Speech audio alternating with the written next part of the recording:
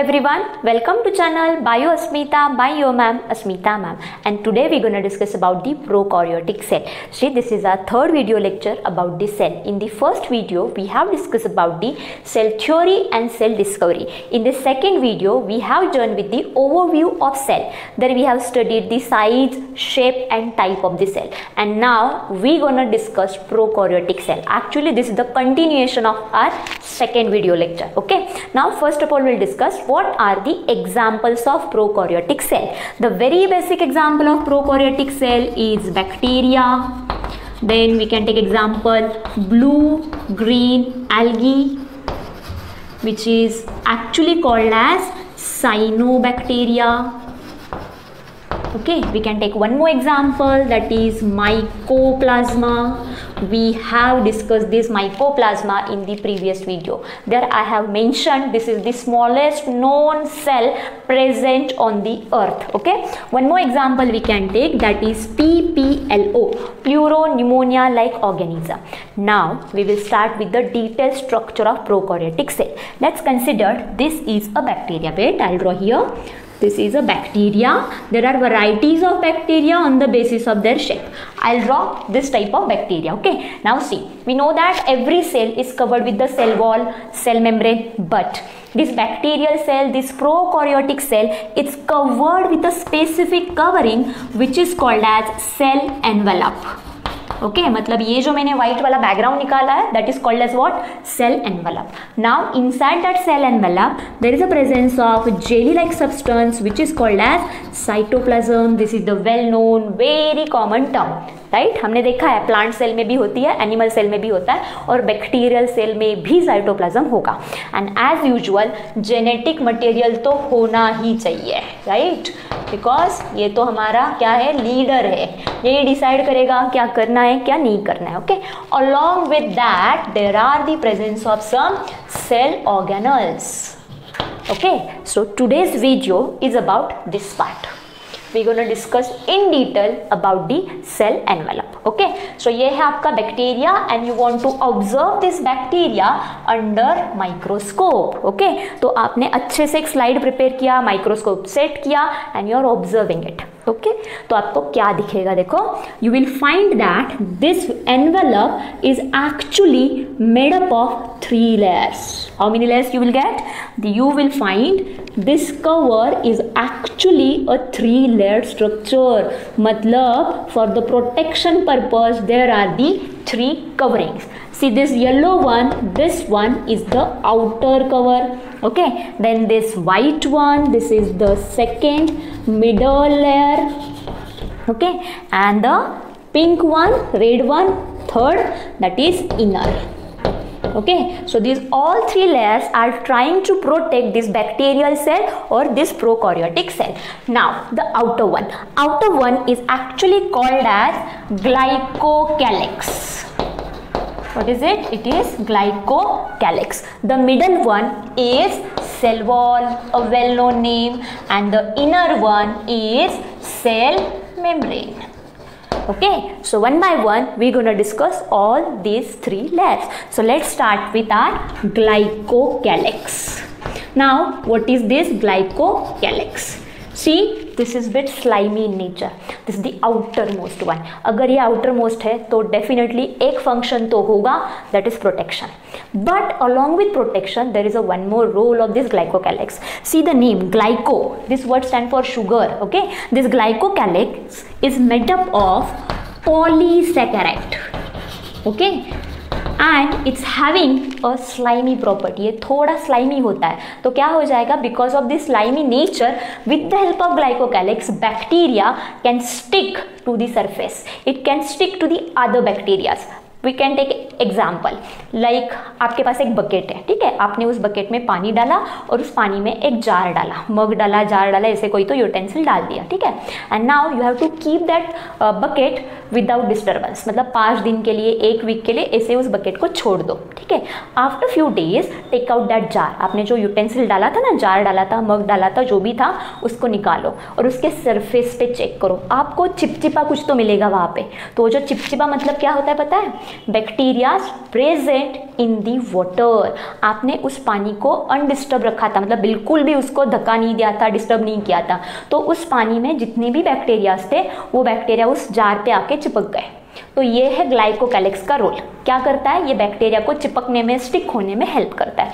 Now in some bacteria this glycocalyx is very thin while in some bacteria it is thick ठीक है?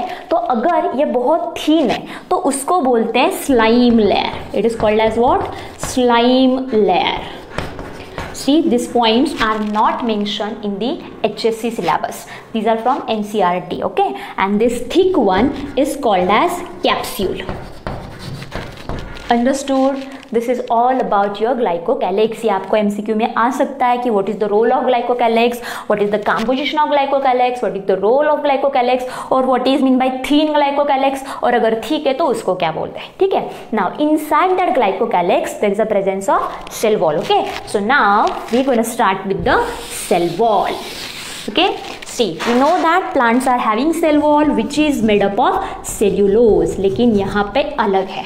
ठीक है see this cell wall is rigid in nature now first of all what is mean by rigid rigid we can say non elastic as it is non elastic in nature non flexible in nature this cell wall provide proper size shape and structure to the bacterial cell now why this cell wall is rigid in nature reason composition Bacterial cell wall is basically made up of two types of chemical. The first one is murine and the second one that is peptidoglycan.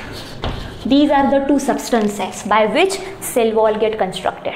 Okay, and on the basis of this composition only, there are two types of bacteria. See what I am writing? There are two types of what? Bacteria the first type is called as, wait a minute, I'll draw here. There are two types of bacteria. The one is called as gram positive bacteria and the other one is called as gram negative bacteria. ना what is mean by this gram positive and gram negative see आपको शायद पता होगा कि if you want to observe any life cell under microscope then you have to stain it पता है ना क्या यूज़ करना पड़ता है? स्टेन स्टेन मतलब एक कलरिंग लिक्विड होता है. Wait a minute it is not visible here I write it down here stain क्या यूज़ करना पड़ता है? You have to use stain okay तो अभी कैसे ऑब्ज़र्व करते हैं? तो ग्राम, ये जो नाम है ना this name is of a scientist name Christian Gram नाम का एक साइंटिस्ट था। He invented a method to observe bacteria under microscope and that's why we have name the bacteria the gram positive and gram negative मतलब क्या है देखो? Suppose आपके पास ये ग्लास स्लाइड है, ठीक है? और आपने इसके ऊपर वाटर सैंपल लिया या ब्लड सैंपल लिया and you want to observe bacteria from this water और ब्लड ओके तो you have to spread that blood and then you have to put some stain तो कौन सा स्टेन डालना है? कौन सी प्रोसीजर फॉलो करनी है? ये किसने बताया? ये बताया ग्राम ने.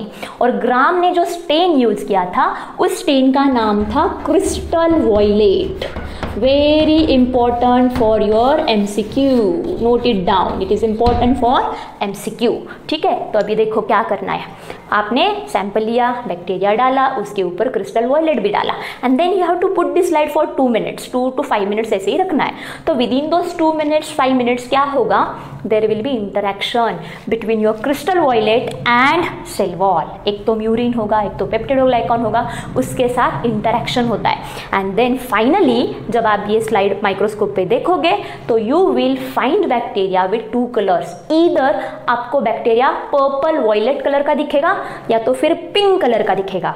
अगर आपका बैक्टीरिया पिंक कलर का है तो उसको बोलते हैं ग्राम नेगेटिव और अगर वॉयलेट कलर में दिख रहा है पर्पल कलर में दिख रहा है तो उसको क्या बोलते हैं? Gram positive understood this is again important कौन सा बैक्टीरिया कौन से कलर में आता है और सबसे ज़्यादा इंपॉर्टेंट तो ये है, ठीक है? So this is all about cell wall इतना ही इंपॉर्टेंट है आपके नीट और बोर्ड के लिए. Now inside cell wall there is a presence of the inner most and third layer which is called as what cell membrane so let start with the cell membrane see this is the elastic in nature अभी देखो cell wall में I said cell wall is rigid in nature मतलब non elastic but now this cell membrane is elastic in nature and that's why it's having fluidity or we can say it's having a nature which is called as permeable nature very important the cell membrane is having which nature Permeable nature. Now what is mean by permeable nature? It's having a property by which it allows entry and exit of the substances see, आप एक room में बैठे हो, आपके room को walls भी है windows भी है, ठीक है? तो विंडोज़ थ्रू एयर आ सकती है रेन वाटर आ सकता है डस्ट आ सकती है, लेकिन वॉल थ्रू आता है क्या? नहीं आता है। मतलब your window is allowing the entry and exit of substances मतलब window is permeable in nature वैसे यहाँ पे ये जो सेल मेम्ब्रेन है, ये सेल मेम्ब्रेन परमिएबल है। बट अगर हम मोर डीप में जाते हैं मतलब और डीप में जाते हैं स्पेसिफिसिटी में जाते हैं तो this cell membrane is selectively permeable in nature. Now what is mean by selectively permeable nature? मतलब ये एंट्री और एग्जिट तो करेगी लेकिन सिलेक्टेड मटेरियल का लाइक like, आपकी विंडो परमिएबल है ठीक है? लेकिन आपने क्या किया? उस विंडो पे मस्कीटो नेट लगाया। तो अभी देखो क्या होगा। उस मस्कीटो नेट थ्रू एयर आ सकती है डस्ट पार्टिकल भी आ सकते हैं रेन वाटर भी आ सकता है बट मस्कीटोज नहीं आ सकते। मतलब सिलेक्टिवली मस्किटो की एंट्री अवॉइड उल्टा सोचो रूम में ही मस्किटोज है। और आपने क्या किया? है आपने वो नेट बंद करके रखा है। तो अंदर की एयर जाएगी, अंदर के डस्ट भी जाएगी बट अंदर के मस्किटोज नहीं जाएँगे। मतलब selectively entry and exit decide हो रही है। वैसे ही सेल मेम्ब्रेन करती है। सेल मेम्ब्रेन को पता है कि कौन से मटेरियल को अंदर लेना है, कौन से मटेरियल को बाहर छोड़ना है। ठीक है? So this is the main function of cell membrane but why why cell membrane is having this properties why cell membrane is permeable nature और fluidity in nature reason its composition. This cell membrane is basically made up of lipids. It is having lipids and proteins that's why it is elastic in nature and it is selectively permeable in nature understood so see the outer one that is what this glycocalyx which is having two types that is slime layer and capsule okay then the middle one that is cell wall the innermost that is cell membrane ये तीनों मिला के क्या बना cell envelope और ये क्या करेगा सेल को प्रोटेक्ट करेगा अंडरस्टूड आई होप ये सब कुछ आपको समझ में आया होगा। सो so, अभी हमने क्या कंप्लीट किया? सेल एनवेलप आज के लिए बस इतना ही। नेक्स्ट वीडियो लेक्चर में will continue with the remaining parts okay चलो bye bye and thanks for watching